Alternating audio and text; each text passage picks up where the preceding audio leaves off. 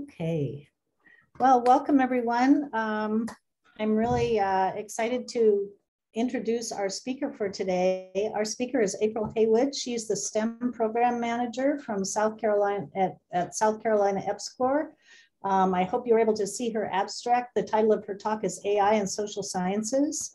April is a public administration doctoral researcher, ASPA, American Society for Public Administration, a Times columnist, R programmer, and public sector practitioner. She's also a fourth year doctoral student in the Doctor of Public Administration program in the Department of Political Science at Valdosta State University. Her research interests are in computational social science, data science, e-government, machine learning, public administration, public policy, research methods, and social media research. That's a lot, super interesting. She integrates data science and artificial intelligence algorithms and R programming, R programming, excuse me, specifically R Studio into her research and her research methods. Her long-term research focuses on how data science and artificial intelligence can inform and solve complex, tame, and wicked problems in public administration, public policy, and other sub-disciplines of the social sciences. So really pleased to have, um, have April here today. Um, so anytime we're ready, we can get started. Thank you very much for the invitation to present tonight, or well, night here for me, uh, afternoon for you, uh, and everything. Thank you very much. I'm really excited uh, about this. I'm going to share my slides here.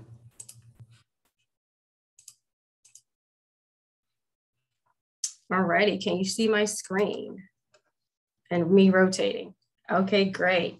So I'm April Heyward. Um, I'm going to talk about AI and the social sciences. So for me, I actually, within maybe the last four to five years, have gotten into programming, uh, into sorry, into programming. Sorry, the noises outside.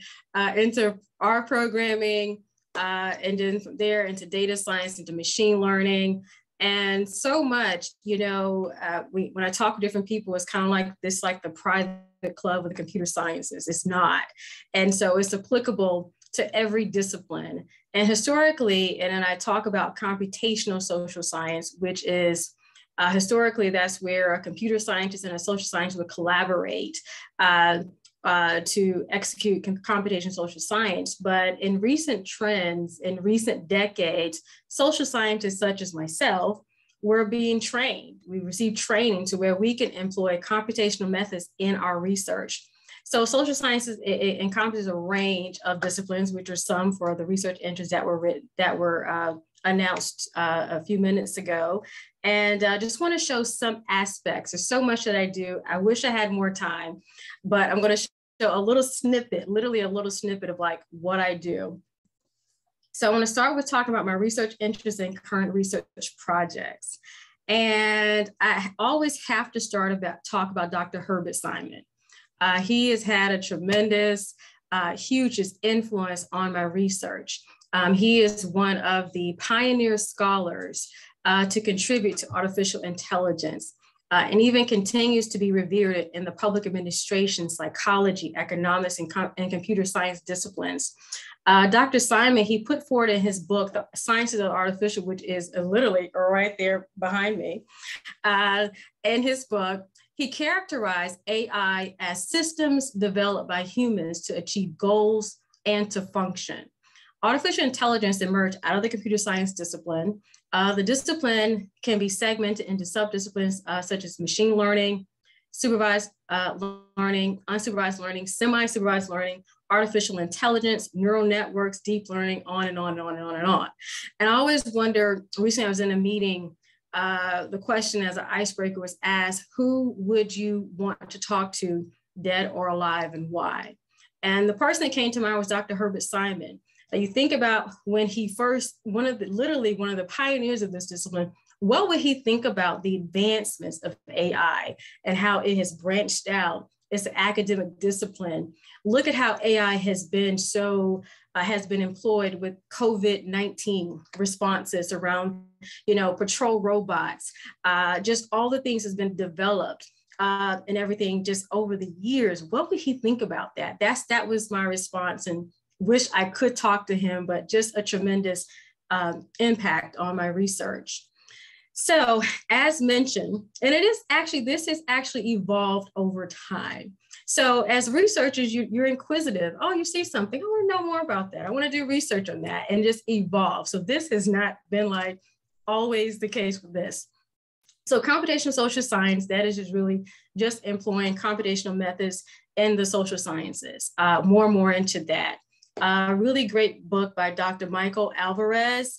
A really great book. Please read that on that. Really great book that talks more and more about social scientists using computational methods. Of course, data science, decision science is one of the more recent ones. Like, you know, why are decisions made the way that they're made? Uh, just the science behind that e-government, which is the focus of my dissertation. I'm actually in the dissertation phase of my doctoral program. So that is kind of the focus of that electronic government, machine learning, public administration, public policy. Uh, those are subdisciplines of the social sciences, research methods, and social media research. And so uh, those are my research interests. So some just a really quick kind of uh, some of my current research projects, and this will probably probably be more so the aim of the talk, my talk today. I have a quantitative project that's uh, titled uh, Data Science and Machine Learning Approach to Comparative COVID-19 Policy Responses. So the aim was to investigate health and economic policy response to the COVID-19 pandemic in developed countries and developing countries. Prior research indicated more rigorous research is needed for the contribution to the body of knowledge from a public policy perspective. Um, and my aim with this is really to answer how data science and machine learning uh, can inform public policy about the COVID-19 pandemic and what is the state of COVID-19 pandemic in developing developing countries. Um, this is more so tied to my, my dissertation, measuring the effectiveness of e-government delivery models from a public administration perspective. And this came about because so much literature, when I first got started looking at this a couple of years ago, is so grounded in the information sciences uh, perspective, that discipline. But, you know, e-government is really a byproduct of public administration and information systems. And so I'm looking more at the PA aspect of that and looking at the state of e-government delivery uh, models globally. And another part of what I'm going to talk about today is having just a public administration research approach to an empirical perspective of COVID-19, more so because when so much, so much research is coming out, and although that COVID-19 is a wicked problem, it's a wicked problem, but it really just provided like just just seeing scientists like everybody's trying to attack the problem. They're doing research and you know what are the answers? We have questions after questions after questions. How do we answer that across disciplines? And initially so much is coming from, out from an epidemiology uh, perspective other disciplines of public uh, public health but there's so much i said let's look at this from a public policy a, a pa perspective as well and so just really excited i get really excited about research and, and all of this um, and this is something initially over time, the longest one is about integration challenges and future research, our future direction of data science and public administration. And how is that applied in public administration? And I'm answering that more and more over the years as I do different projects and things like that. So R Studio, so we have R. R is a programming language. There's R, there's Python, there's other languages. There's R, and I look at this and really there's the R ecosystem versus the Python ecosystem. So people who who are who use Python sometimes think that nothing can be done outside of Python. That is incorrect. You can do data science, you do machine learning, you can do all these things. So I am the R ecosystem. Uh, and R Studio is a specific system software that I use for all of my research. It is really, truly one of my happy places. Like when I open the screen, like you have you ever seen the Febreze commercials where except I don't put my nose in the carpet, but you see that you have the Febreze commercial, you're like, just the happy place. So for me, this is exactly you know how I feel uh, when I'm in R when I'm when I'm in R Studio and just programming, and I can program for hours, and it's like the next day. And so uh, this is just for me. And I'm going to go more. I'm going to more so focus on uh, how I use Twitter which is a data scientist treasure trove. Oh my gosh. It is a treasure trove. And so um, just to kind of show different ways of how I use uh, how I use uh, machine learning and this back. I'm going to focus more so on machine learning this evening uh, and everything of how I use it in my research and, and in practice. So how do I use RStudio? I use it for data science, data wrangling and cleaning. I do data analysis, visualizations. I, I employ it for statistics. I don't use SPSS. I know how to use it, but it's like why I have R. Uh, machine learning, text mining, natural language processing, sentiment emotions analysis. Uh, I pulled Twitter data via my Twitter developer account through RStudio and decision trees and on and on and on and on. And decision trees more so going to use that more so for to do for predictions.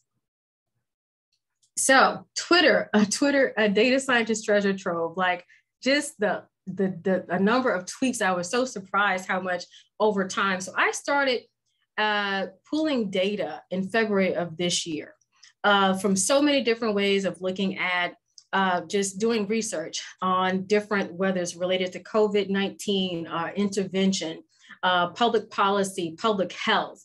And recently I started doing more, getting more into climate change, climate change, climate change policy, extreme weather. And so with this, and because I think I've so far to date have probably close to 2 million tweets over several months on different topics, different searches, you have to keep a data log. You have to curate your data. You have like you, you, have, you always have to have that. So over time, and this is just example of what I what I do. I catalog the data that I pull. That this is the search criteria, whether it's by hashtag and it's literally like this, or just search for words. The date that I pull the Twitter data, um, and that is pulling that can pull up to the previous seven days of tweets. Uh, but then there's the number of tweets that I pull by that search, and then the date range. So, for instance, with stimulus checks, uh, the tweets that I pulled at the time, this was in February, uh, 1,113 tweets. Uh, that those tweets there that range from February 8th, 2021 to February 16, 21. And I put time zone because when I'm pulling, because this is globally, I'm pulling this globally all around the world, what is available on Twitter at that time. And so pulling that. So I look at that by the hashtag and, and just by that search criteria the American Rescue Plan, which is an intervention of the United States uh, to address uh, the COVID 19 pandemic. And I'll talk a little bit more about that. It's a combination of interventions from uh, health interventions, economic, social welfare policy, all those things. Booster shots, uh, more recent. How do people feel about booster shots? I use a lot of this as well sometimes for assessing what is the public opinion of. Uh, hashtag COVID 19, the coronavirus uh, COVID 19 with the dash and without the dash. It really makes a difference sometimes when you're pulling in tweets and stuff and information to see how that, you know, what you get. Uh, COVID 19 vaccine with and without the dash. And so, with that, so just the dates of that.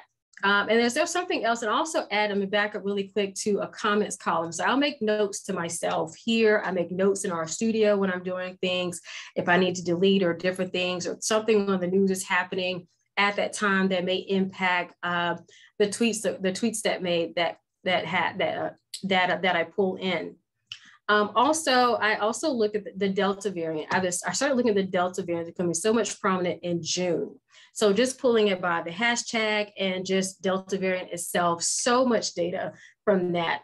And the Gamma variant, hashtag and without the hashtag the different types of vaccines, the J&J vaccine. Uh, and just as just a note, when as I say a note, something, so on this particular day that I pulled by just the search criteria J&J vaccine, the CDC and FDA announced plans to pause Johnson & Johnson vaccine due to rare blood clots since the last data extracted. So the last time I pulled this data, the CDC pulled. So when I heard on that day, I said, okay, let me go in and pull the data. What is what are people saying about J&J at this time? Uh, also, uh, Moderna booster. So different types of versions, variations of Johnson & Johnson, the Moderna bo uh, booster, uh, Moderna vaccine. And this is more a note for myself, but example of comments to come that today uh, it was announced the FDA will not extend the shelf life of J&J vaccines, but will extend the shelf life of the Moderna vaccine. So I'm gonna pull J&J and Moderna vaccine related tweets later on. uh, but just to make a note of that, because sometimes that influences if tweets would go up or go down, and then what people are saying about a particular topic. Uh, Pfizer vaccine, uh, Paycheck Protection Program, which is another intervention of the United States government, uh, the Pfizer booster, social distancing, vaccine, wear a mask is such a controversial topic to say if you should cover up your nose and mouth and there's an infectious disease on the earth, but it is a controversial topic if you should cover up your mouth. So I, your nose and mouth. So I started looking at this in, in February and I said, because things are going to the point of people filing lawsuits and all those things, I said, let me just go back. I hadn't pulled it in months. So here, last I pulled with the hashtag was in May. So let me go and look and see what has happened because more and more things are in the news about that to pull that as well.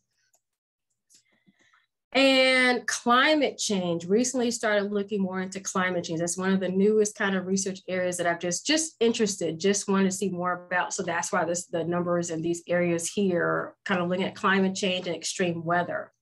So to date, I've pulled almost 2 million tweets. so that's what that is over time. And so I log all of because it's a lot of data and everything. So uh, let's just to kind of put some things in perspective of just a total amount of tweets is just interesting by hashtag search criteria, just some numbers here like total from when I started looking at topics to current. This is just some of that. I'm not going to run like down every single number here for you, but just a total number of tweets and have some notes at the end, Delta variant, just different things over time. Um, and so some notes from this is that with this Twitter search criteria, I'm going to show you some examples what I do as well. Interesting, you pull more tweets without the hashtags than you do with hashtags uh, for most of the things that you pull. The COVID-19 vaccine Twitter search yielded more most tweets out of everything I've searched to date. The highest is about the vaccine. Uh, there are more Delta variant tweets than Gamma variant tweets. And more so, at least in the United States, is the Gamma variant is not as prevalent as compared to the Delta variant. Uh, the Moderna vaccine Twitter was actually more popular and yielded more tweets as compared to the Pfizer and Johnson & Johnson, Johnson Johnson vaccine. And the Pfizer booster Twitter search uh, yielded more tweets as compared to the Moderna uh, booster Twitter uh, search. So I want to show examples. So different things I talked about earlier that I do sentiment emotion uh, analysis of tweets. And I also do text mining, additional text mining algorithms of that. So I pull the, the tweets in and then what is next. So how do you pull Twitter data? So I access, I have a Twitter developer account. You have to be approved by Twitter. You have to submit an application to Twitter. Uh, you know, you get permission, uh, you, you, know, describing the purpose of why you want your Twitter developer account, your how you plan to use Twitter. And so, and it has to be approved. It's not necessarily a, like an automatic approval. So it has to be approved by Twitter. So I access my Twitter developer account in RStudio when I get started. Um, and you need your app name, consumer key, consumer secret, access token, and access secret. Uh, then I load uh, the RTweet package. The name of the package is called RTweet. I load that into RStudio. And then I program code RStudio to search and pull tweets. And I do this by criteria, the number of tweets to pull, and should retweets be included, which I don't actually include retweets. Uh, and then I save my Twitter results as a .csv file. So this is an example of, as you see, just coding, like for example, like uh, the Delta variant. So I'm telling RStudio, okay, this is, you know, I'm naming what I want my file to be. I'm telling the, the types of tweets. I'm telling this is what I want, you know, to, uh, RStudio to search for. And in this case was the hashtag Delta variant the number of tweets I want to, the maximum number of tweets that I want to pull. Now, depending on what Twitter uh, approves you for, they have a maximum number of tweets that you can pull every 15 minutes. They have a maximum. So you get to your maximum, you have to wait 15 minutes before you could do that again. And then also to, I save, this is just write as, write underscore as, as CSV in terms of saving my files. So I pull that in from Twitter in RStudio, and then I save my files. And so it automatically saves as CSV uh, and it saves it uh, in the cloud for me. So I have it, because when you lose, you know, work with a lot of data, you need a lot of storage space uh, for that. So first thing I want to talk about and just show an example of, let's say, going back to the American Rescue Plan Act Uh, this is an intervention. It's a combination of the health, economic, education, and social welfare, for welfare policy interventions. And some of the features of the American Rescue Plan include COVID 19 vaccinations, economic relief to small businesses, state and local governments and individuals, unemployment benefits, housing assistance, agriculture and nutrition programs, and stimulus payments up to $1,400, which was one of the most popular features uh, of the American Rescue Plan. And so I put this timeline because it correlates to the tweets that I pulled and what was happening and when. So this was proposed in January of 2021. The US House of Representatives started working on the budget resolution in February 2nd. This was then introduced in the House, formally introduced in the House uh, February 24th. It passed the House in February, later that February, passed the Senate in early March. The US House agreed to the Senate amendment on March 10th, and it was signed into law by President Joe Biden on March 11th. The IRS started processing direct payments on March 12th. So I pulled uh, American Rescue Plan tweets uh, by hashtag and without the hashtag. So I did this emotion analysis. I did want to just, you know, getting a sense of how people feel about the American Rescue Plan. What is the, uh, what is the public opinion of that? So this data, this date here is a date I pulled the data. Uh, and so uh, I pulled the data on this one particular one on February 16, 2021. And again, when you pull data, it can pull up to seven days uh, to the previous tweets, depending on the maximum number of that. So you get to kind of just really see what people were thinking and feeling uh, positive at that time. And again, going back to the timeline here, you can kind of see where people are. They're excited about that. And uh, and also to stimulus payments, all the relief that's coming to address the pandemic, because it was a multi-purpose, um, multi-purpose uh, interventions here for, for the in the United States. And so I'm going to talk a little bit about the differences here uh, a little bit later between this. So then I, on, on March 10, 2021, I do uh, run another analysis of the tweets. I pull that again, going back to up to seven days of tweets, pulling that in. So if we look at, for instance, anticipation on February 6th, we see like the emotions of that 6,194 tweets, like they analyze that, okay, anticipating this. But then as things are progressing, you know, in the United States Congress, we see anticipation is skyrocketed up to 40,000. So we see the emotions of that, what people are thinking, uh, what they're feeling uh, about that, and then also positive, negative, and all the other emotions of that. I get the question sometimes like, what does it mean anticipation or why this particular emotion, all of that. So it really depends on the package you use R package you use, and then also the dictionary that particular package uses and how it characterizes emotions and sentiments and things like that. And then also, again, anticipation is, is high at this point, continuing to be high as well, anticipation positive.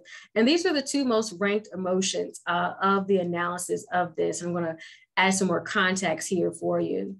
So again, anticipation and positive emotions were the top emotions in the analyses in response to this intervention. Now, trust, surprise, joy, negative, fear, sadness, disgust, and anger emotions were the highest when the US House agreed with the amended bill from the Senate, and that was later sent forward to this for signature to put into law. So there are questions when I do this sometimes, like, well, why is this positive? Why is this negative? So this is where you do other things and do other text mining. So analyzing tweets in a different way to add more context to that. But this is just an example again of how I use Twitter, how I use machine learning, and through this, I'm using natural language processing, all these things. And so these are the results of that. But this is where, as a researcher, you see this, okay, then why? Why is this? Why is that? I want to dig deeper, deeper, deeper, and deeper into that.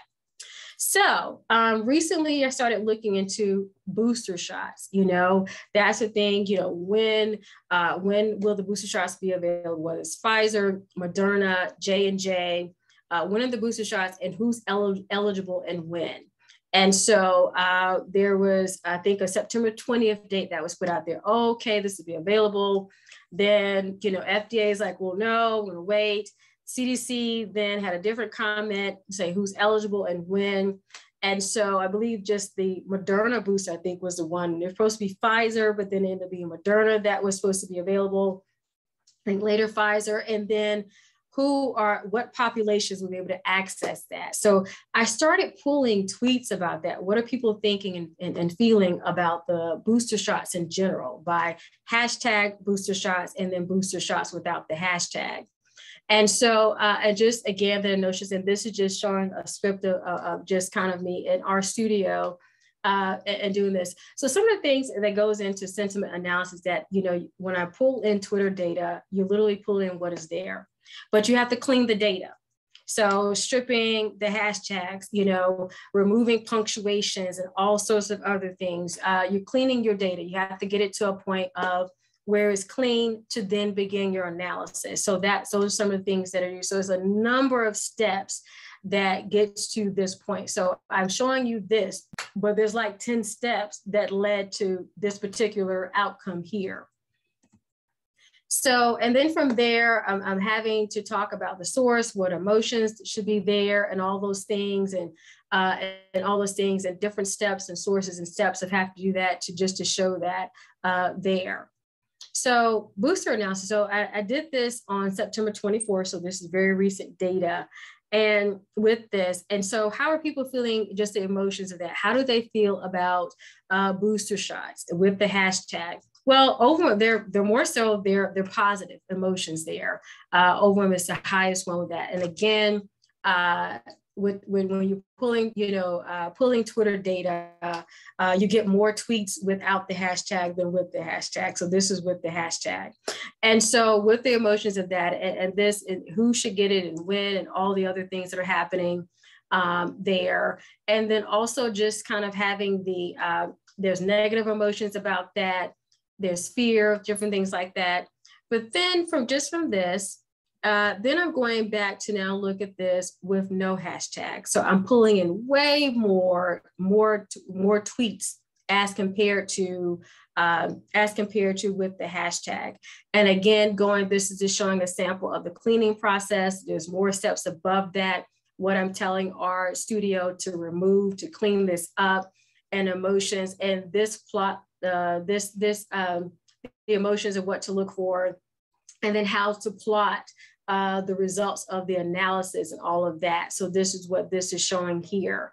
And so with that, so if we then look at um, the results of this and that there's way more positive more positive a, a, difference you know without the hashtag that it pulls in more to show more people are more have more positive emotions um, about uh, the booster as compared to negative here. Um, and so there's trust in there's some trust, but not too huge variance between that and fear. People have different thoughts and if they should get, you know, even vaccinated, period, and things like that. What are potential results? All those things like that. And so those are some of the things just to kind of show the differences between with the hashtag and without the hashtag, but just to give some kind of context to that. So uh, then I started looking into the Delta variant in, in the summer. So it seems at one point we were coming out of all of this and things were getting better to trying to get to some sort of sense of normalcy. And then the Delta variant, which is the dominant variant in the United States, uh, and just and even more there's varying impacts depending on the state that you're in so recently in, in the state that i live in cases were getting to like five six thousand a day and so but that's not the case in all states and so it really depends on where you are and then so but the state of maryland is supposed to be one of the safest states in the united states you know so depending on where you are but the Delta variant is becoming so prevalent and so dominating things. You think of the increase of deaths and cases and all those things that are related to the Delta variant. So, so now I want to start looking more into. So I started looking into this about mid-June, and just I look at this just about every week, pulling tweets. What are things, seeing where things are, and so of that. So I wanted to do an analysis like what are people thinking of, of that. So uh, interesting enough, when I first saw this result, uh, this is in June. So I just compared when I first started looking at the Delta variant. Uh, this is I pulled this on June 16, 2021, and then I compared it to uh, the last time I pulled pulled data, which was on September 24th. I just want to see from the beginning to where are we now? What are people thinking about that. So both of these are without Twitter hashtags. And so positive emotions, say, okay, positive. I wonder what that is about. So that means I need to do more research, do more text mining. I want to delve more into specific sentences and what are some phrases, things that people are talking about on Twitter. Like it's kind of like, okay, positive. But I guess depending on where you are in the country and, and where, and in this case, I'm back up say country, but where you are in the world, because I'm pulling tweets and this is from, this is globally. And so, in negative emotions, uh, where people are thinking, uh, trust, I'm going to break down kind of where emotions are, are of course, this and then uh, this is I'm doing an analysis of as of September 24th of that, just showing, um, showing, I just wanted to show the difference between when I first started and then the last time that I pulled uh, the data. And so uh, again, positive, a, a, bit more difference between positive and negative emotions of that is just interesting to like what is, and I asked that question more so depending on, on where you are. Some could be very happy about progress uh, in terms of like is you know in some places that is not as prevalent and other places um, you know things of that nature. And so it'd be interesting to kind of know more about that which i'll talk about follow-up of that later. So as I compare between, you know, when I pulled the data in June and I went to pull it again in, in, September, I wanted to look at just some of the emotions to see what people were thinking. So the positive emotion actually increased from June to, to when I pulled it in September. Interesting. So uh, with that, the negative emotion decreased, uh, decreased somewhat between June and September. The trust emotion increased uh, between from June to September. The fear emotion decreased.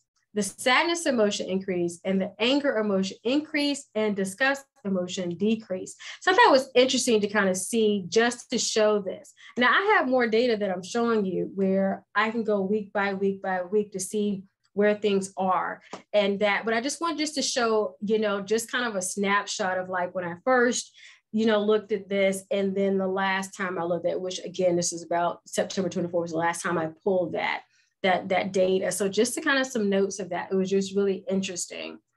So um, for me, next steps, um, I'm going to continue text mining, uh, varying Twitter search criteria because again, like for instance, like I was talking about the results of the Delta variant uh, emotions analysis, it showed that the top emotion was positive. And I kind of want to know why. Is that good? Is it bad? Is it what is it good? You know, the vaccines become available. Like what is contributing? It's more so what is contributing to the analysis of this. And so I'm interested to know more about that. So, and when I talk more about text mining, I'm still using natural language processing.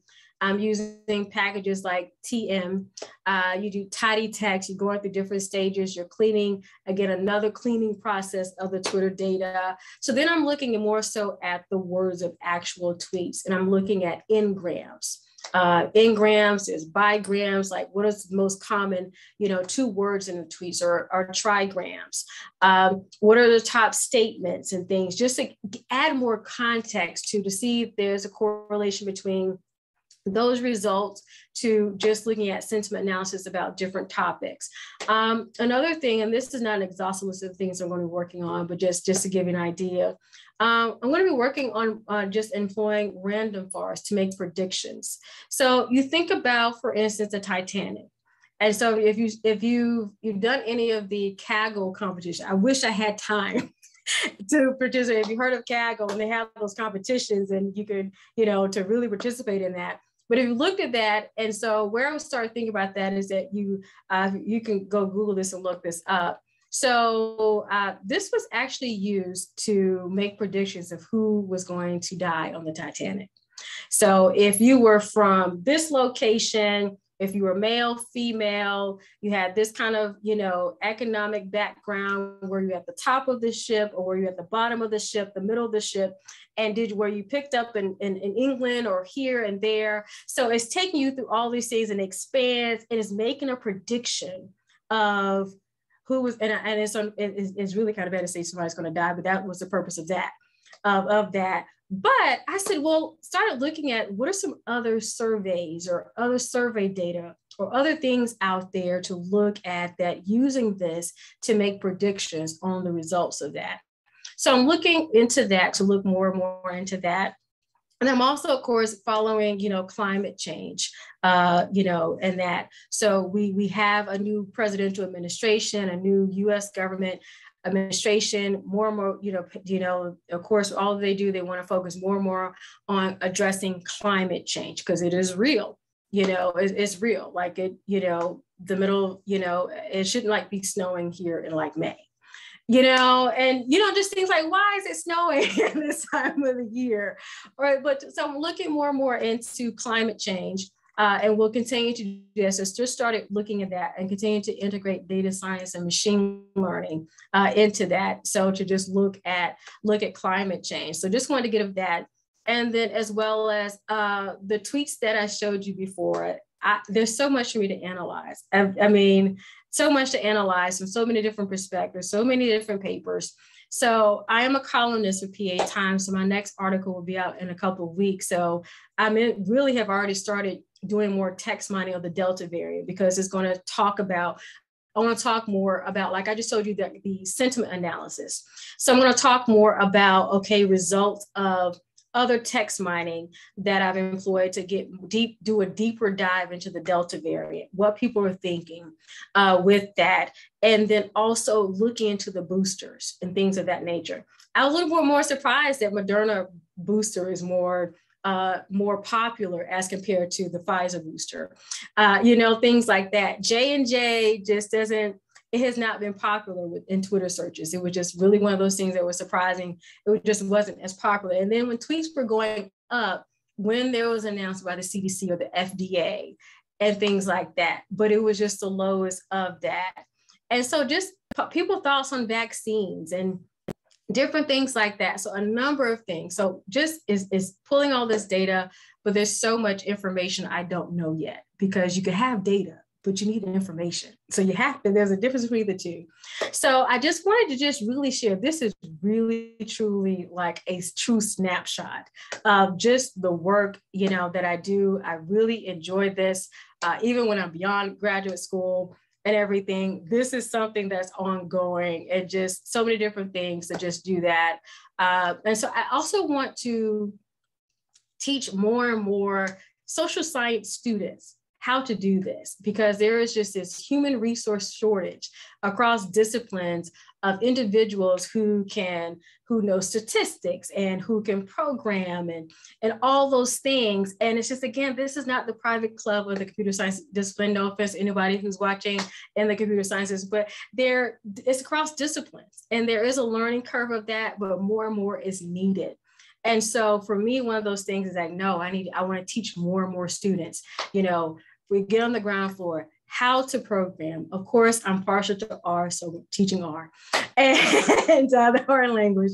Uh, but of course, if they want to go into Python, it's up to them. But to show them what they could do with that, because even if you, whatever sector you're in, whatever academic discipline you're, you're in, you need a data scientist.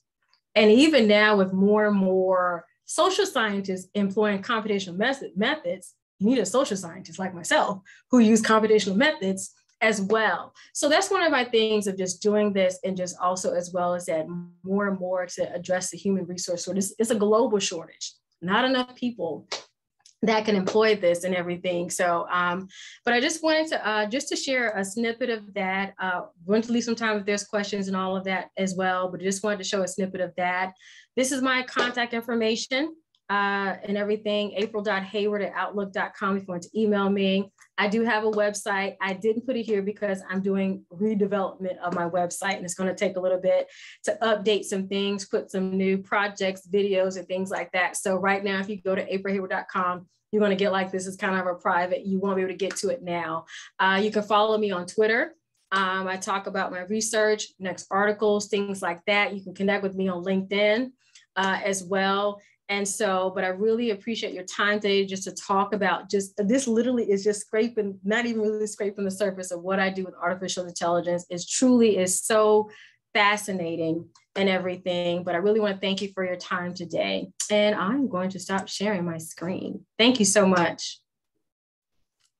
Great. Thank you, April. That was that was fascinating.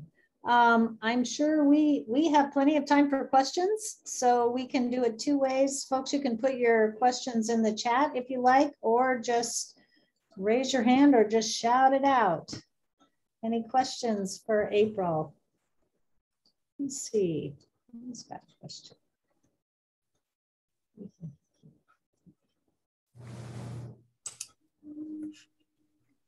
Oh, thank you. Thank you, Maria. Well, April, I have a question. Um, Sure.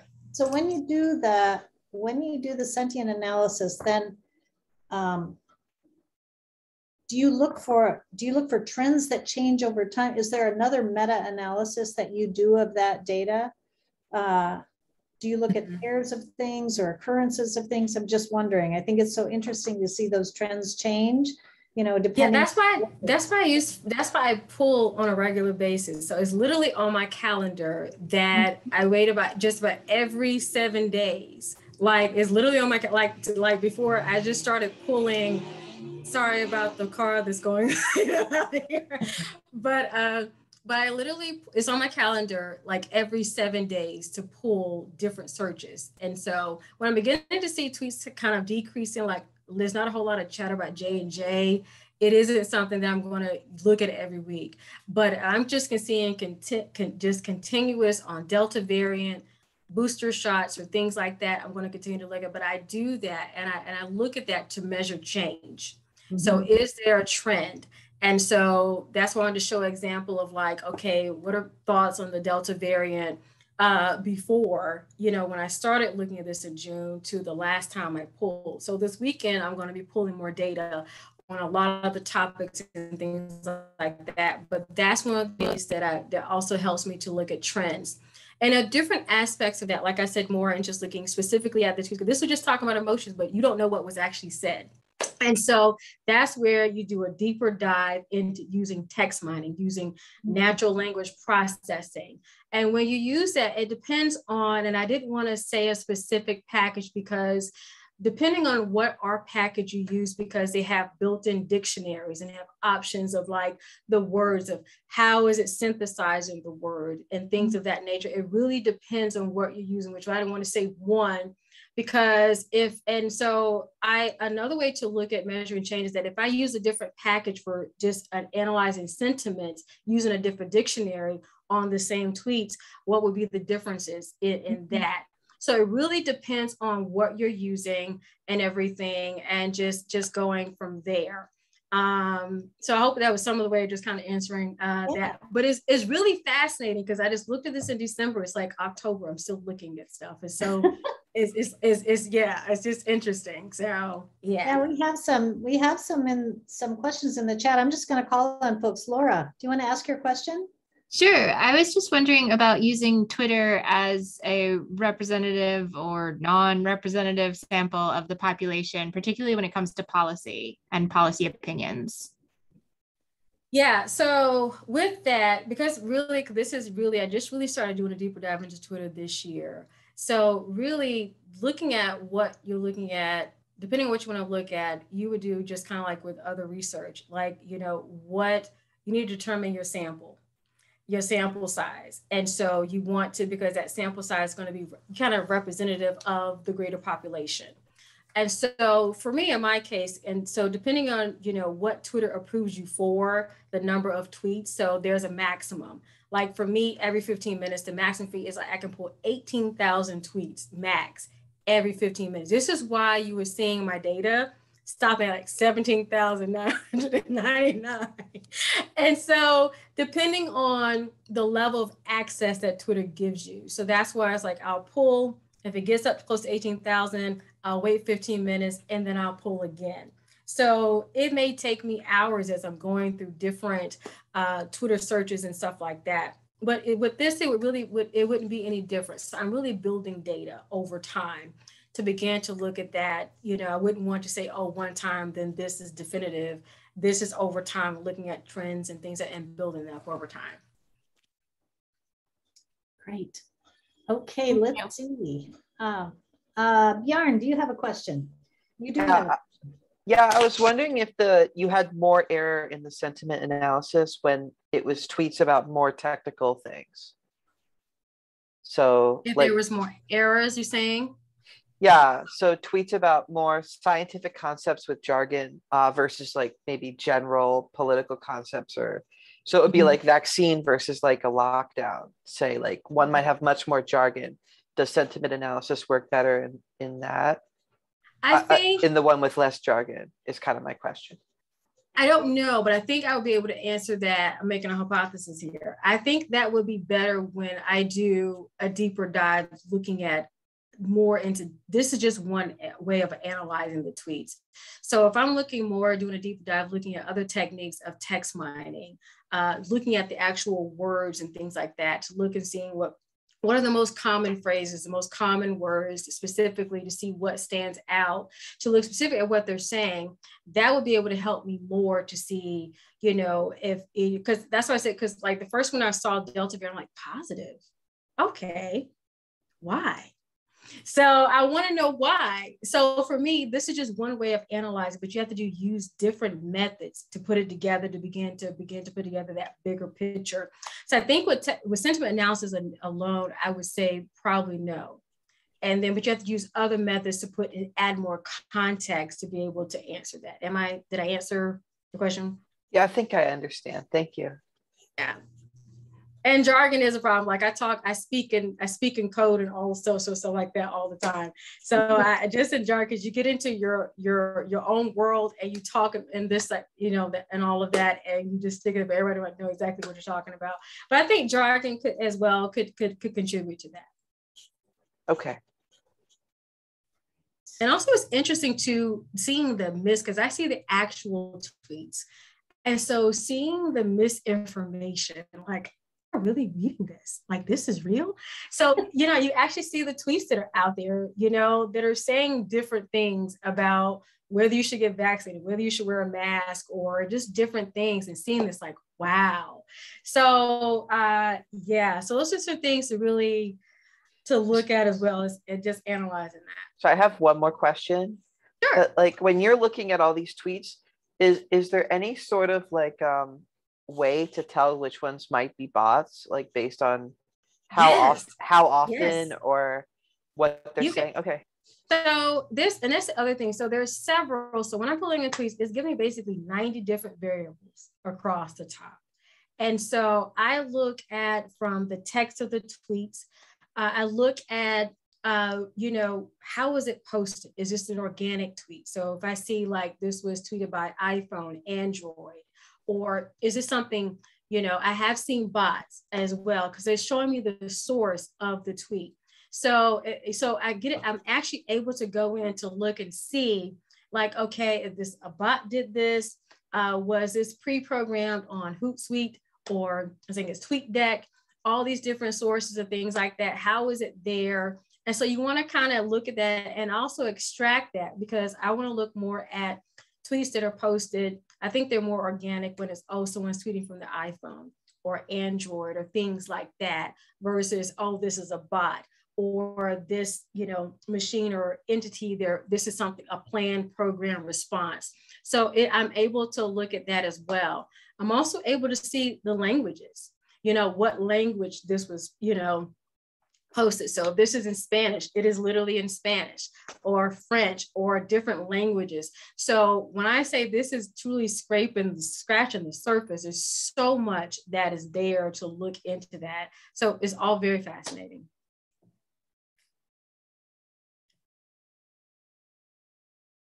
Hey, April, thanks for your talk. It's really interesting. I, I'm really looking forward to the rest of the uh, research and what you work on. I hope to get your web page up soon. No pressure.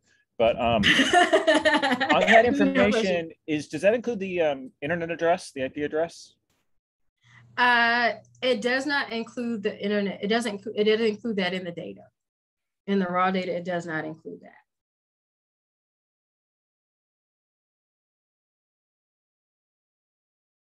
I'm not sure if I answer. Uh, you meet. I'm not sure if we're. Is he? So there. Okay, let's see. Do we have other questions? Any questions from some of our fellows?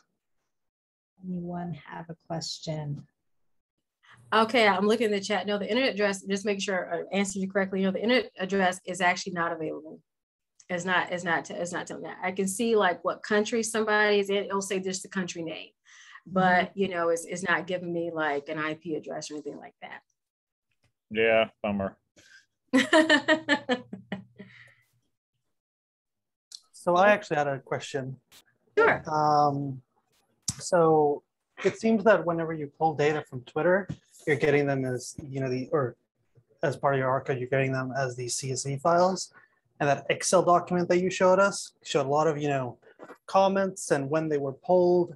Well, that was me actually. So when I'm pulling it in, I'm pulling in the data. I save it as a .csv file, and then for me, the the spreadsheet I showed you at the beginning is actually me, just for because you need to when you when you have so much data that you're accumulating, you have to you know curate your data.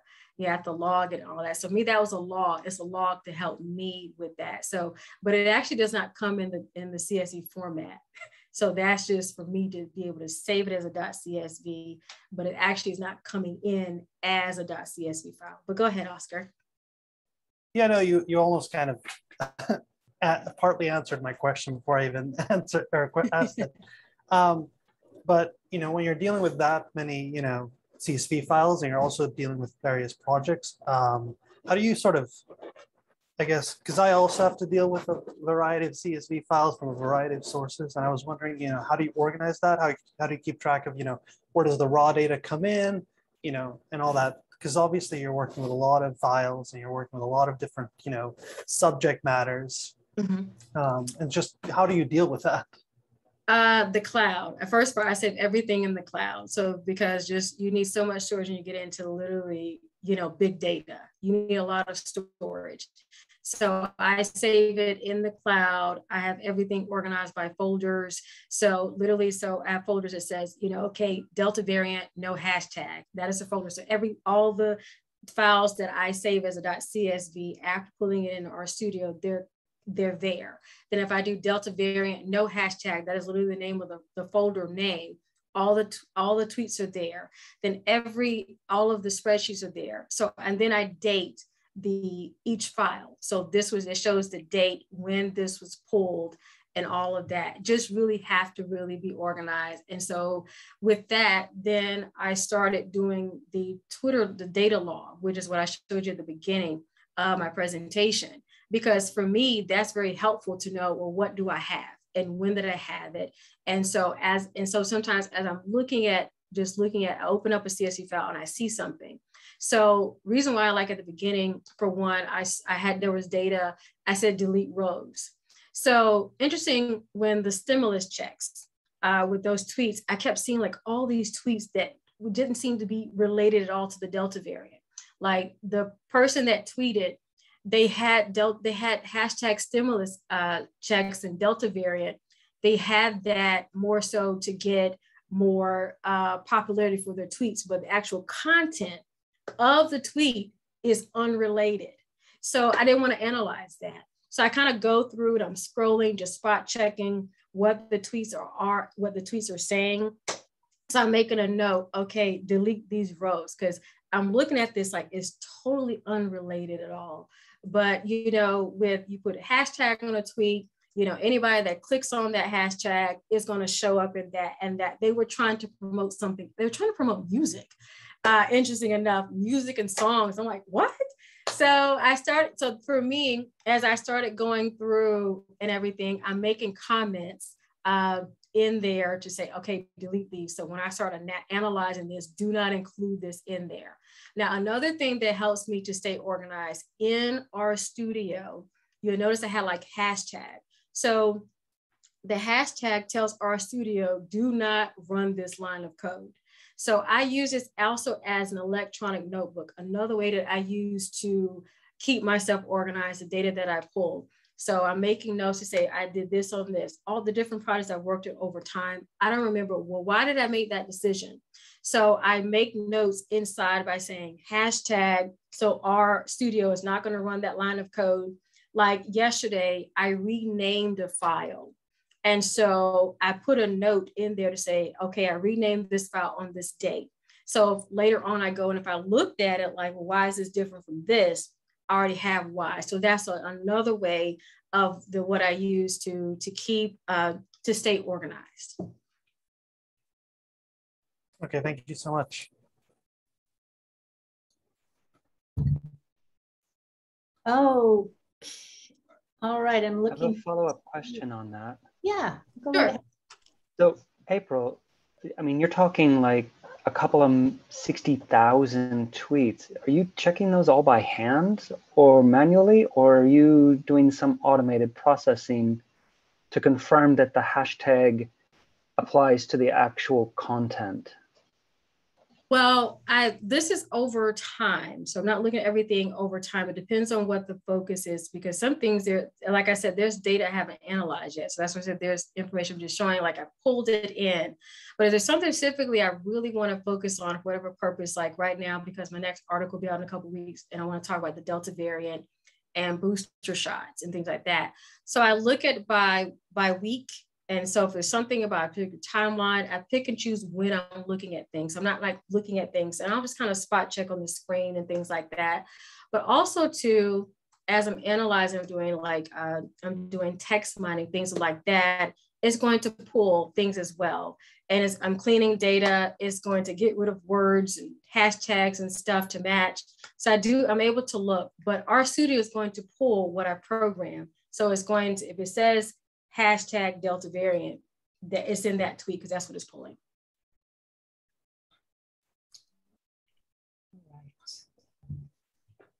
All right, any other questions for April? Looking for hands and things, not seeing any. Okay, I think we, oh, wait, wait, I think I saw a hand. Uh, Hi, it's? Katie. Sorry. Katie, sorry, go ahead. Um, I have a question. Could this information eventually be used by, say, the press to target the delivery of like news articles and stuff in the future more effectively? Say, if you recognize that people were talking about Delta poorly, um, and then you didn't, I don't know, if you didn't want to run a story that was received negatively. Okay, well, first, when I say college, I'm a columnist within my profession. So I don't work like for CNN or, or MSNBC. I'm a columnist for my profession, which is PA Times. First of all, the data is de-identified. So it's really looking at uh, just kind of de-identified. So it's not, it's not going to show anybody's name or their Twitter handle or things like that. So I put things in a way, it, when me more, when I'm talking about things, it's more from a more high level uh, with that. And so, but I want to clarify, like, uh, you know, I'm not like a news columnist. This is just, you know, sharing aspects of like research and things that I've done. But anything, you know, uh, in terms of like any, I don't use any like personal identifiable information uh, and things like that. So with in the way that I use it for research and all of that, uh, I would never put any put really was setting have anything i would never do anything that will have a, a situation uh, like that to where someone is targeting this that and the other. Uh, with the delta variant was more so from looking at from a public health perspective from a policy perspective because tweets you know tweets they could they could be the cdc tweeting or it's just it's anybody that's tweeting about a particular topic or focus. Uh, but i would never set up anything to where there could be something that's negative uh, in terms of like you know interpretation of that. But uh, with this and as you and if you uh, get into uh, to, to get a Twitter developer account, you get into to use doing this type of research for whatever your research areas are and everything. But everything, it, uh, but it's uh, it's de-identified. So it's to protect people, but it's looking at kind of like a, a culmination of themes of a high, a high level, if that if that makes sense. Hope I answered your question, Katie.